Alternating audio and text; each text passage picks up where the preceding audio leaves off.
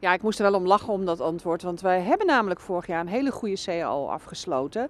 Met de werkgevers samen, dus eigenlijk de partij van uh, meneer Raad zelf. Um, waarbij inderdaad de loondump in de thuiszorg gestopt zou worden en uh, thuiszorgmedewerkers weer fatsoenlijk betaald uh, zouden worden. Alleen heeft de Vereniging Nederlandse Gemeentes, dus dat is eigenlijk de club van alle wethouders van Nederland, heeft daar een stokje voor gestoken. Dat dat uiteindelijk ook zeg maar, van kracht zou gaan worden. Daar was een, een, soort, ja, een soort reparatiewetje voor nodig. Nou, die lag op de plank bij het kabinet.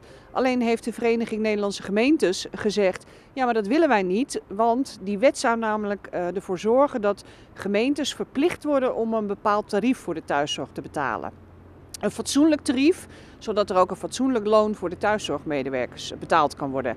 Uh, dat wilde die Vereniging Nederlandse Gemeentes, oftewel de wethouders van Nederland niet. Want die zeiden, luister, hè, uh, de WMO is naar de gemeentes toegekomen en de jeugdzorg met één voorwaarde dat wij zelf mogen beslissen hoe we het geld gaan besteden.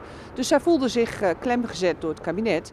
Daarom heeft het heel lang geduurd voordat uiteindelijk die goede loonschaal die nu door ons, door de vakbonden met de werkgevers was afgesproken. Uiteindelijk pas in december, na alle acties van Red de Zorg en met de volkspetitie, uh, is er een nieuw akkoord gekomen met het kabinet. En hier heeft uh, staatssecretaris Van Rij gezegd: Ik ga nu niet langer wachten op die Vereniging Nederlandse Gemeentes. Maar die hebben meegetekend dat nu uiteindelijk die loonschaal ook van kracht gaat worden. Maar dat lag dus niet aan de vakbonden en zelfs niet aan de werkgevers. Maar in dit geval lag het aan de wethouders van de gemeentes. Oké, maar wanneer krijgen de thuiszorgers in Amstelveen nou meer geld?